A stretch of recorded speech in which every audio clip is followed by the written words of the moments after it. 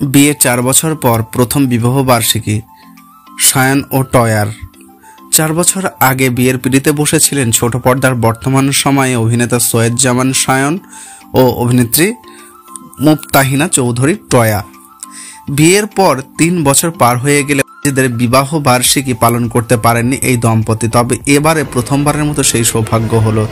এর কারণ দু হাজার কুড়ি সালে উনত্রিশে ফেব্রুয়ারি বিয়ে করেছিলেন সায়ন ও টয়া জুটি।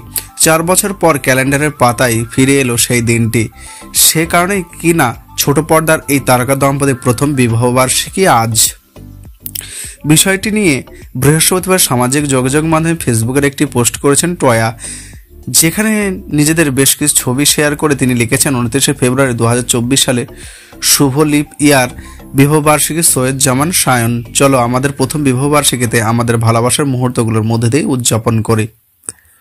স্বামীকে উদ্দেশ্য করে টয় আরও লেখেন প্রিয় স্বামী তুমি আমাদের পথ চলার হৃদস্পন্দন সব সীমাবদ্ধতা ছাড়িয়ে তুমি আমার শক্তি, ভালোবাসা এবং আনন্দের সকল উৎস। তোমার আটুট সমর্থন ও তোমার অন্তহীন উদারতা আমার জীবন কেমনভাবে আলোকিত করে, যা আমি কখনোই ভাবিনি।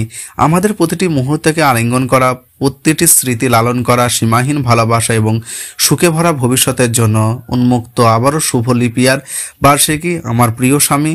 তোমাকে পাশে পেয়ে আমি চিরকৃতজ্ঞ, আমি তোমাকে ভালোবাসি।